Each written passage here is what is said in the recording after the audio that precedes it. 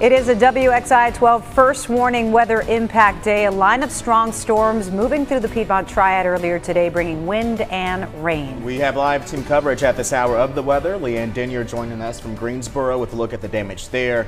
But we begin the 4 o'clock hour with meteorologist Jacqueline Shear with the latest forecast. Jacqueline, the latest timing and track as of now? Yeah, we're starting to see some of that severe impact wind down, but it's not quite over yet. And that's something, of course, you need to keep in mind. Here's a look at all of that heavy rain that we had throughout the last couple of hours. And that's the line of storms that actually brought some tornado warnings in with it. Now, as we're looking, oops, let me get that. There we go. We're looking near Raleigh at this point where they still have some heavy rain totals, yellows, oranges, and reds there on your screen. But things are starting to lighten up. And now, as we're heading towards our area, we're seeing some drier skies. Unfortunately, what we're also seeing is some sunny skies, and that means that these storms that are still coming through, they're scattered, they're not nearly as widespread, the rain's not nearly as heavy, but they have the potential to become strong to severe storms because of that extra energy and extra instability in the atmosphere. So we still have a severe storm risk. This one's new. As we've gone through the past couple of hours, we've gotten an update on this.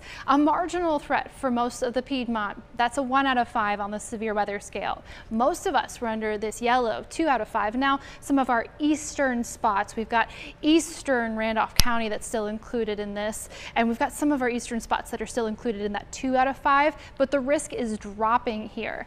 As we're looking at tornado probability, that's still a probability for us as we're heading through the next couple of hours, a possibility, I should say, as we head through the next couple of hours and we start to see some of those storms pop up, become strong to severe, and damaging winds are also a possibility, although that risk is now moving to the east as well. And I'll tell you, the mountains and most of the foothills, any storms you get, they might be strong, but not likely severe.